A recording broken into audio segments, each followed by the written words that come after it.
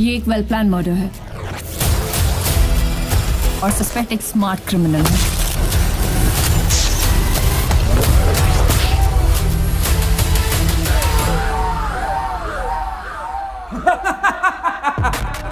आदित्य राय कपूर की उषा कवच ओम movie box office पर कुछ ज़्यादा कमाल नहीं कर पाई और लोग इस मूवी से ज़्यादातर निराश ही रहे। पर कोई नहीं, हो गई है इनके कैरियर की सबसे बड़ी फ़िल्म गुमराह मूवी का ऑफिशियल टीजर रिलीज़ तो कैसा है ये टीजर और कब हो रही मूवी थिएटर में रिलीज़ सब कुछ बताऊँगा इस वीडियो में। वेल दोस्तों, मेरा नाम है विकास और वीएस पॉइंट स्टूडियो में एक बार फिर से आपका स्वागत है। सबसे पहले आपको बता दूँ, आदित्य राय कपूर की आ रही गुमराह मूवी तमिल लैंग्वेज में रिलीज़ हुई थर्ड मूवी का रीमेक है, जो एक मार्च 2019 में रिलीज़ हुई थी और बॉक्स ऑफ़िस पर सुपरहिट साबित हुई थी। जिसके बाद इस मूवी का रीमेक बन रहा है। अब बात करूँ टीजर की तो आपको बता दूँ, गुमराह मूवी आदित्य राय कपूर की कैरियर की सबसे अलग फ़िल्म होने वाली है, क्योंकि आदित्य राय कपूर इस मूवी में डबल रोल करते हुए नज़र आने वाले हैं। जिसमें एक क्राइम करता है तो दूसरे पे आरोप पकता है, जो की इस तरह की मूवीज़ बहुत सारी रिलीज़ हो चुकी है और बहुत लोगों ने देखा भी होगा। पर लिटरली आदित्य राय कपूर की गुमराह मूवी तमिल की थडम मूवी से काफ़ी ज़्यादा अलग होने वाली है। क्योंकि इस मूवी में आदित्य राय कपूर ज़बरदस्त फाइट और एक्शन करते हुए नज़र आने वाले हैं। क्योंकि यह मूवी मिस्ट्री और क्राइम से भरी है, जिसमें एक किलर लोगों को बहुत ही बेरहम तरीके से मारता है। तो ज़्यादातर लोगों को यह मूवी पसंद आने वाली है। अब बात करें इस मूवी के डायरेक्टर की तो आपको बता दूँ बॉलीवुड के जाने माने डायरेक्टर वर्धन केतकर द्वारा इस मूवी को डायरेक्ट किया जा रहा है, जिन्होंने बहुत सारी सुपरहिट मूवीज़ दी क्योंकि गुमराह मूवी के डायरेक्टर वर्धन केतकर ने इस मूवी में एज ए लीड रोल में सिद्धार्थ मल्होत्रा को ऑफ़र किया था। पर उन्होंने किसी कारणवश इस मूवी को ठुकरा दिया